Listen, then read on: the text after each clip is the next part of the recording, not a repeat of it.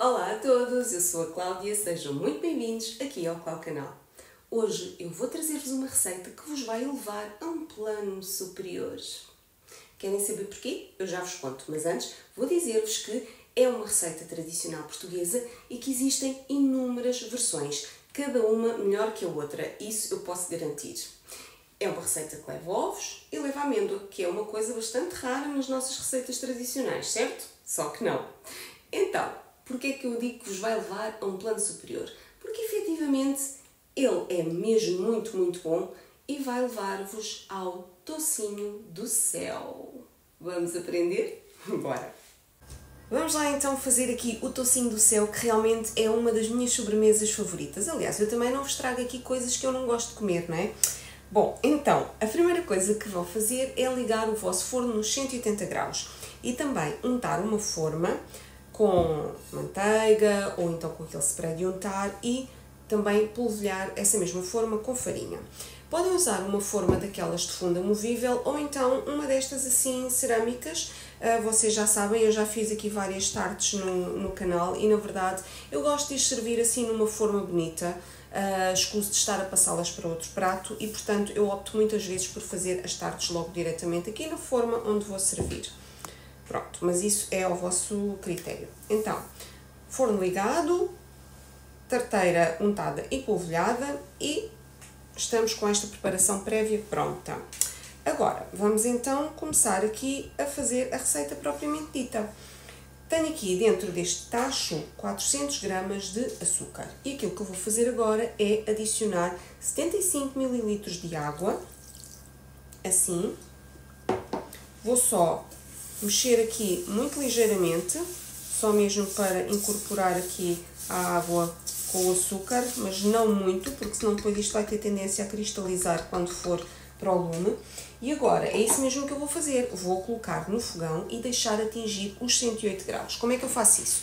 Eu uso um termómetro, uh, vocês podem usar um, qualquer termómetro de cozinha que tenham. Vou-vos só mostrar este, que eu também já vos mostrei algumas vezes, mas para quem ainda não viu os vídeos, uh, ficam a saber. Eu gosto muito de usar estes termómetros assim, com esta sonda separada.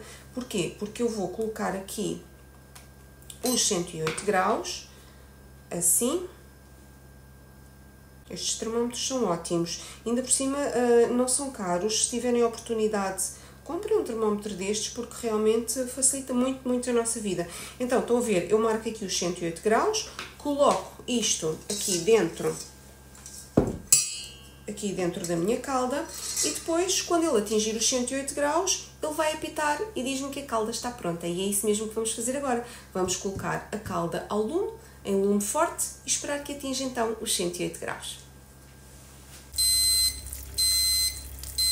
Oi, 108 já passou, como vocês podem ver ali. Vamos então tirar a calda, assim. Que já tiramos a calda do lume, o próximo passo é adicionar 150 gramas de farinha de amêndoa. Vou pôr aqui dentro da calda, assim, e também adicionar 3 colheres de sopa de doce de gila.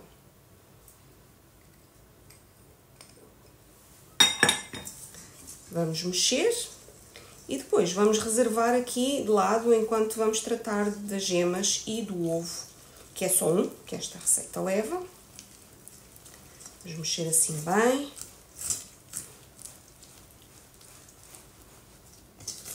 Não se preocupem porque, como de costume, eu vou-vos deixar aí na descrição do vídeo, aí embaixo, os ingredientes todos listados, para que não se percam, tá? Mas eu tenho o hábito de ir falando deles um, ao longo do, do vídeo, não os costumo listar logo de início, uh, mas fica tudo aí escrito, não, ninguém se vai perder. Vou então pôr aqui para o lado, para arrefecer um pouco, e vou tratar dos ovos. Ora bem, com relação aos ovos, nós vamos precisar de 12 gemas e de um ovo inteiro. Eu já tenho aqui as 12 gemas, elas estão já uh, batidas aqui dentro desta taça. E eu vou adicionar um ovo inteiro, assim. E vou bater tudo junto.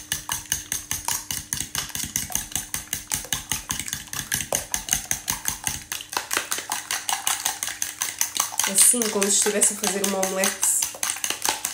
Pensavam que fazer tocinho do céu era difícil, não é?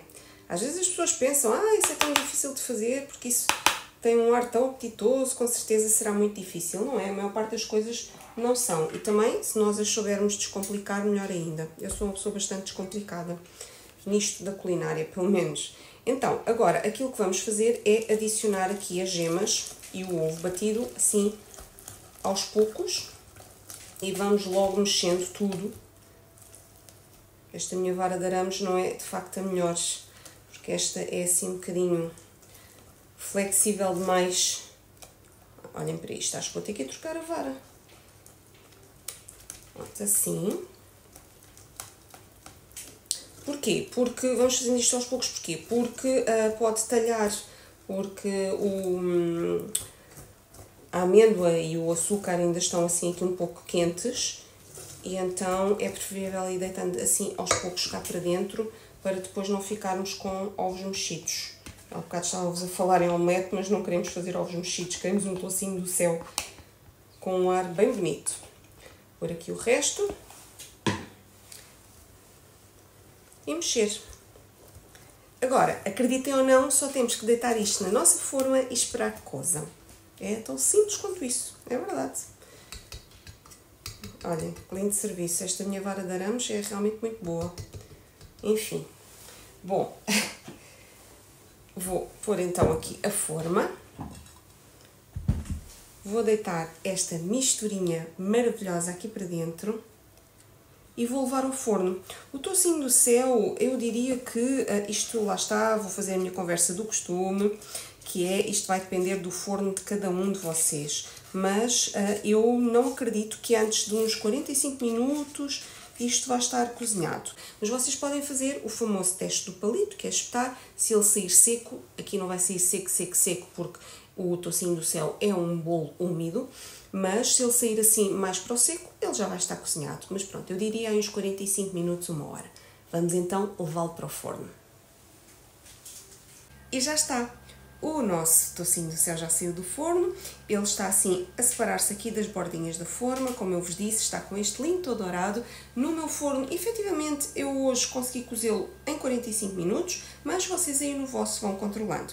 A única coisa que temos que fazer agora é pô-lo assim um bocadinho mais bonito e vamos simplesmente polvilhá-lo com açúcar em pó, assim.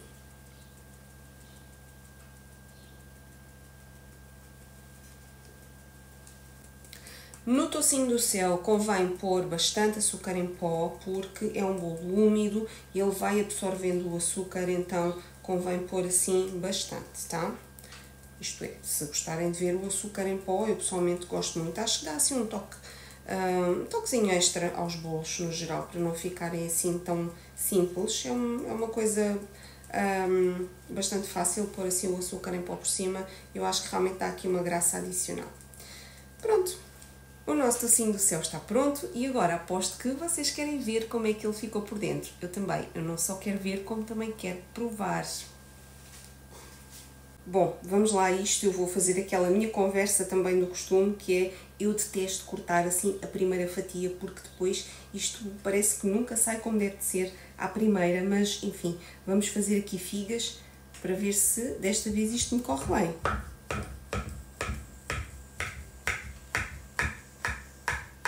Ele está mesmo, mesmo, mesmo macio.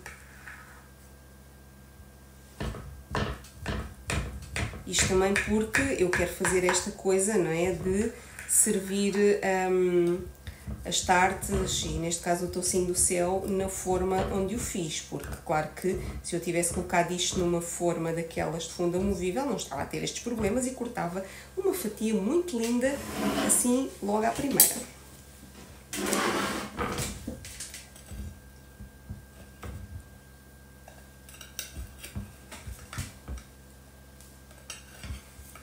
Vocês estão aí desse lado a dizer realmente, não é? Com razão. Mas pronto, até que não saiu assim muito mal.